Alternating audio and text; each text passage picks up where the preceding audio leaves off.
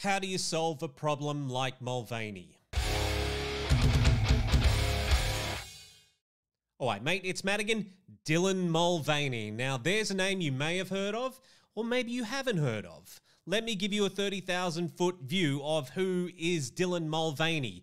Now, a little over a year ago, Dylan Mulvaney started a very popular thread on his TikTok account called Days of Girlhood, where he chronologically documented his transition into becoming a woman. And it gave him everything that this guy has been just desperate for, more or less his entire life, which is attention, your attention, our attention, this attention right here. And it's worked out brilliantly for Dylan. Dylan has managed to get himself an audience at the White House with Joe Biden. But something has happened more recently, other than his audience with Joe Biden.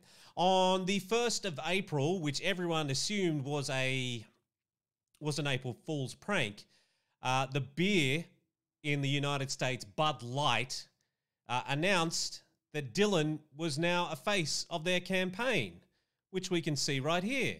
I kept hearing about this thing called March Madness, and I thought we were all just having a hectic month, but it turns out it has something to do with sports. And I'm not sure exactly which sport, but either way, it's a cause to celebrate.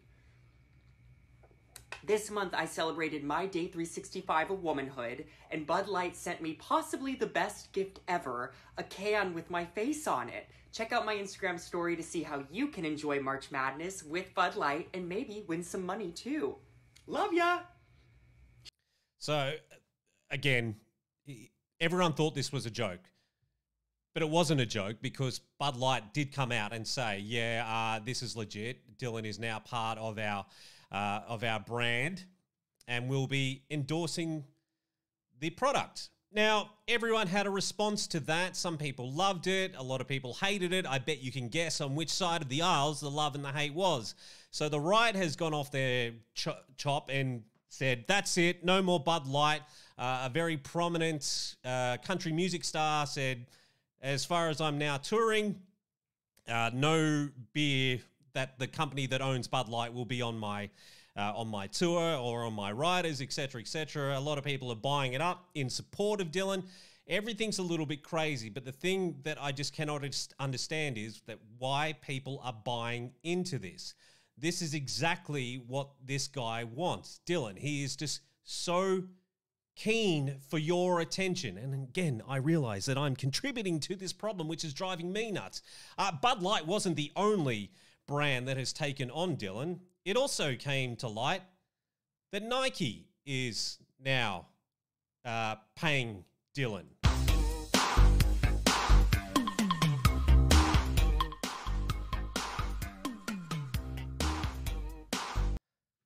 Does this inspire you, women? Girls, does that inspire you to uh, buy Nike gear? It might. I mean, you're actually the biggest contributor to this issue that suddenly all of your jobs are now disappearing. Uh, apparently, not only Nike, but Tampax as well. Think about this one. A trans woman is now a brand ambassador for Tampax, the female hygiene product that about the prospect of me doing a tampon partnership. I mean, it made the news. And then the tampon brands, they got real quiet. Um, and that's okay. Today, I'm going to go hand out all of these extra tampons I have left. So again, this is just this is playing into Dylan's wheelhouse. Uh, that what he's really after here is just attention, and like I said, it's worked out brilliantly for him. Now, why do I say that he is just keen on all this attention. Well, you just got to look back on his previous social media postings and what this guy has been trying to do is that he's been trying to grab your attention for the better part of a decade now. We've seen this footage come out of him on The Price is Right. Yes!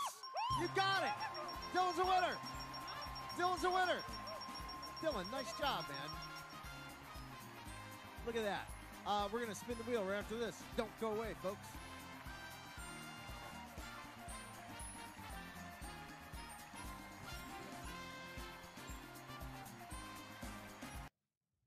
That right there is your classic attention whore behavior. And it wasn't just on The Price is Right, but Dylan made an appearance uh, as an audience member who got up and danced for Ellen. Let's have a look.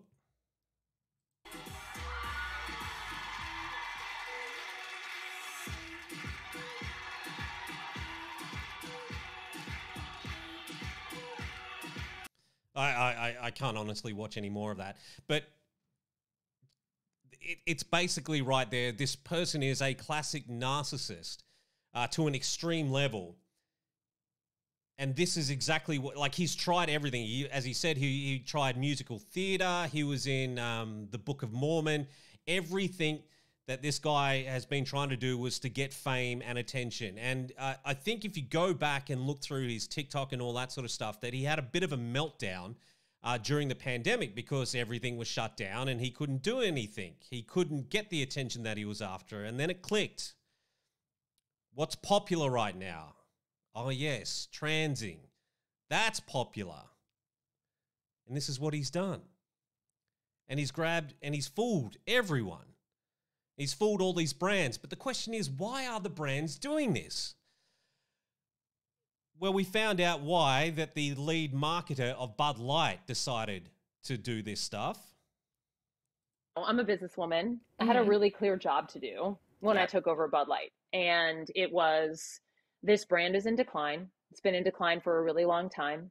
And if we do not attract young drinkers to come and drink this brand, there will be no future for Bud Light. So I had this super clear mandate. It's like we mm-hmm. need to mm-hmm. evolve and elevate this incredibly iconic brand. And my what I brought to that was a belief in okay, what is what do, what does evolve and elevate mean? It means inclusivity. It means shifting the tone. It means having a campaign that's truly inclusive and feels lighter and brighter and different and appeals to women and to men. Mm-hmm. And representation is at sort of the heart of evolution. You've got to see people who reflect you in the work. And we had this hangover. I mean, Bud Light had been kind of a brand of fratty, kind of out of touch humor. And it was really important that we had another approach. There it is right there. Did you hear that? That very key word that you used there was inclusivity, which is just a buzzword. It's a virtue signal to cater to basically a cult.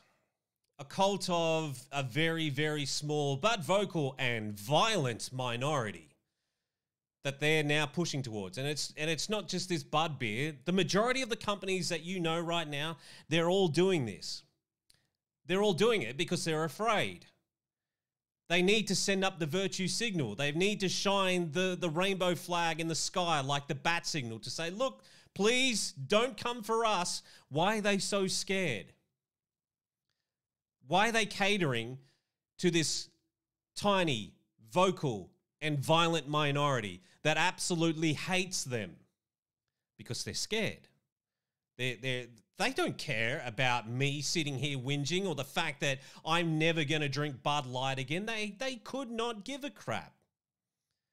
I mean, at the end of the day, when their when their sales fall through the floor, they might reconsider, but they might double down because Nike doubled down on their Instagram account after it was announced that they teamed up with uh, Dylan. They said, "Be more inclusive." They do not care. They didn't care after they sat there and they supported the American hating, uh, what's his name, Colin Kaepernick. They don't care. So, why are they doing this? Well, we might have a little bit of an insight. Inside the CEI system, pushing brands to endorse celebs like Dylan Mulvaney. Executives at companies like Nike, Anheuser-Busch, and Kate Spade, whose brand endorsements have turned to controversial trans uh, influencer Dylan Mulvaney in today's woke it girl, aren't just virtue signaling. They're handing out lucrative deals to uh, to what were once considered fringe celebrities because they have to or risk failing an all important social credit score that could make or break their business. At stake is their Corporate Equity Index, or CEI score, which is overseen by the Human Rights Campaign, the largest LGBTQ plus political lobbying group in the world. HRC, which has received millions from George Soros Open Society Foundation, among others, issues report cards for America's biggest corporations via the CEI, awarding or subtracting points for how well companies adhere to what HRC calls its rating criteria. There it is. Your money doesn't matter at all. They're getting money from uh, from from mil- from billionaires. They don't care. But eventually the money's going to run out. So how do we fight this? Well, you do have to fight with your wallet. You have to find these companies that do not hate you. And it's and it's really really hard. In America, there's nothing here for us in Australia, but there's an app called Public Square which I uh, highly recommend that you get your hands on because it'll show you companies that uh, adopt freedom uh, freedom mentality into their into their production, and they're not bought out by companies that are funded by the uh, sorry that are funded by the Open Society Foundation. These people do not care that you uh, that you're upset by this sort of stuff. They'll just keep getting the money from these billionaires. And why do they keep going after pe- people like Dylan? Because they know it gets them the attention. They know that this is this has been all over Twitter and all over social media and all over the news, and it's getting them exactly what they want. Because then they can go to this HRC company and say, "Look, look what we've done. Look at all the attention we brought our brand." Yeah, we're going to need a little bit more money because uh, no one is buying our beer anymore. So you you just need to keep you need to keep coming up with the with the money it amazes me that uh, that that people are uh, they're actually supporting this, and and especially women. What what is the what was the saying? That the greatest trick the devil that the greatest trick the devil ever pulled was to convince the world he didn't exist. And now the greatest trick that the misogynists have ever pulled was to convince women to let them take over. And you're allowing it. With open arms. Because you all want to put up your hands and, and let everyone know look how inclusive we are. And you're losing all your spots and all your brand endorsements and all your jobs and all your Women of the Year awards and all your sports awards simply because you want to be seen as inclusive. We can't help you. I've said this before. You told us, us men, ages ago, to shut up about women's topics.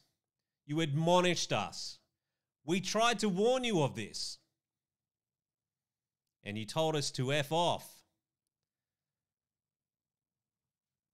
So we can't help you. It's up to you now, isn't it? All right, mate, thanks very much for checking out the video. Thanks very much for checking out my channel. Please let me know in the comments below if I'm wrong about this. I'd love to see your comments, or maybe you agree. Either way, I would love for you to leave a comment. Don't forget you can find me just by searching out the Bryan Madigan. I'm on all those platforms listed there. Leave a like, leave a comment. If you're listening to the audio only versions, I would love a five star review as well. Are we done? Yeah, we're done.